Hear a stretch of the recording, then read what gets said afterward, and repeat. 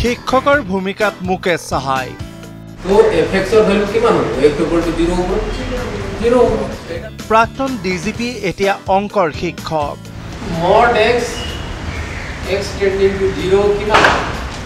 নিতৌ সোণাৰাম স্কুলত লয় অংকৰ ক্লাছ।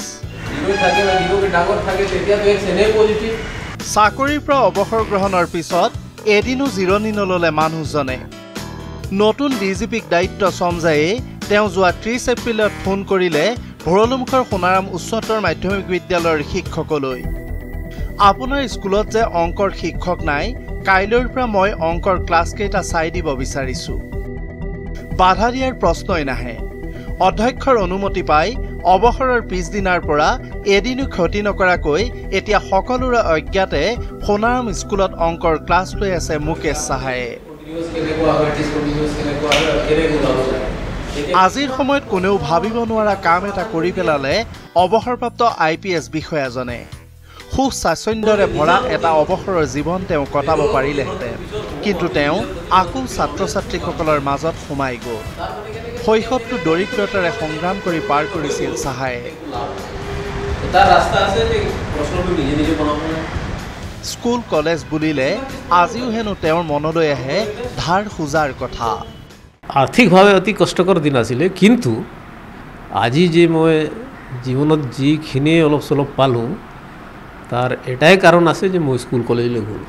কিয়কি আমাৰ ঘৰত এটা কথা আছিলে যে বাকী চব কষ্টটো সহ্য কৰিব লাগিব কিন্তু তথাপিও কষ্ট কৰিও মানে স্কুল কলেজ যাব লাগে। তাৰ কাৰণে মই অলপ মানে আগবাঢ়িব পাৰিম। সেইকাৰণে স্কুল কলেজটো মোৰ কাৰণে অতি মহত্বপূৰ্ণ। ডি জি পি হিচাপে এদিন অতিথি হৈ স্কুলখনলৈ যাওঁতে তেওঁ গম পাইছিল তাত অংকৰ শিক্ষক নাই। এতিয়া অৱসৰ লোৱাৰ পিছত হেনো তেওঁ সেই সুযোগটো ল'ব বিচাৰিলে। অংকৰ কাৰণে শিক্ষক থকাটো অত্যন্ত দৰকাৰী। মই ক'লোঁ যেতিয়ালৈকে নাই বা যদি মই নিজৰ ছাৰ্ভিচটো দিওঁ যদি ল'ৰা ছোৱালীটো অলপ লাভ পায় তেতিয়া মোৰ কাৰণেও ভাল হ'ব তেখেতলোকৰ কাৰণেও ভাল হ'ব। চাকৰি জীৱনত তেওঁ অনেক আই পি এছ বিষয়াক শিক্ষা দিলে। চি বি আইত থকা অৱস্থাত সংস্থাটোৰ প্ৰশিক্ষণ প্ৰতিষ্ঠানটোতো তেওঁ শিক্ষকৰ ভূমিকাত আছিল। তথাপিও সোণাৰাম স্কুলৰ এই দিনবোৰ বোলে সেই সকলোবোৰতকৈ সুকীয়া। মোৰ উদ্দেশ্য হ'ল যে ষ্টুডেণ্টে মানে মৌলিক বস্তুটো ফাণ্ডামেণ্টেল বস্তুটো অলপ বুঝক আৰু তাৰপিছত নিজে নিজে প্ৰয়াস কৰিব। পাৰে মোৰ মতে মই কোনো টিচিং কৰিব নোৱাৰিম মই গাইড কৰিব পাৰিম যে কেনেকৈ পঢ়িব লাগে এইটো হ'ল মোৰ উদ্দেশ্য নিতৌ এটা নিৰ্দিষ্ট সময়ত তেওঁ স্কুলখন পায়গৈ এজন শিক্ষকৰ দৰে তেওঁ সাধাৰণ এখন গাড়ীত স্কুললৈ যায় লগত নাৰাখে কোনো নিৰাপত্তাৰক্ষী উচ্চতৰ মাধ্যমিকৰ দুটা শ্ৰেণীত দুটা ক্লাছ কৰে কেতিয়াবা পদাৰ্থ বিজ্ঞানৰো ক্লাছ লয় দিলে চাহ একাপ খায় আমি যথেষ্ট ভাল পাইছোঁ। ল'ৰা ছোৱালীয়ে কিন্তু খুবেই ভাল পাইছে তেখেতক। টিচাৰ হিচাপে মানে যিখিনি আমি দেখিছোঁ যে বেছি আমাতকৈ বেছি চিনচিয়াৰ বেছি এলাৰ্ট মানে এটা সময়ৰ ইফাল সিফাল নোহোৱাকৈ আহে। আৰু তেনেকৈ ল'ৰা ছোৱালীখিনিও আমি সুধিও গম পাইছোঁ যে সিহঁতে যথেষ্ট ভাল পাইছে।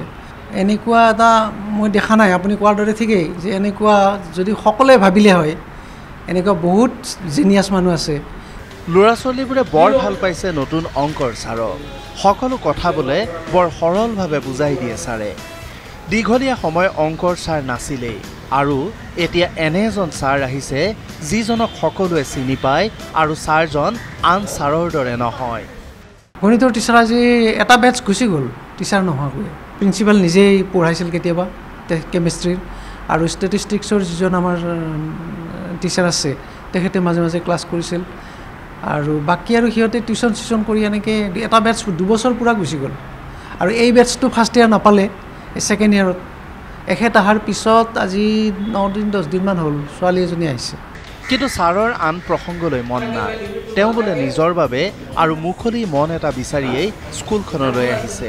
এই এক্সাম্পলটো যদি আমি খালি কপি কৰিলোঁ একো লাভ মোৰ মূল উদ্দেশ্য যদি সংস্কৃত ভাষা যদি উত্তৰ দিওঁ তো অতি চমু উত্তৰ হ'ব স্বান্ত সুখায় ফৰ মাই অ'ন হেপিনেছ নিজৰ সুখৰ কাৰণে ভেলুটো সদায় ক্লাছ সঁচাকৈ বিৰল ব্যতিক্ৰম মুকেশ চাহাইৰ এই পদক্ষেপ। সাধাৰণতে তেওঁ অৱসৰ লোৱা পদটোৰ পৰা আহি মানুহে ৰাজ্যপাল হ'ব বিচাৰে।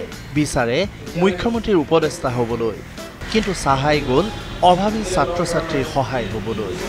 চেলুট টু ইউ মিষ্টাৰ চাহাই কিমান আছে কেমেৰা পাৰ্চন দিব্যজ্যোতিৰ সৈতে Dhiraj Hazarika D Y three six five.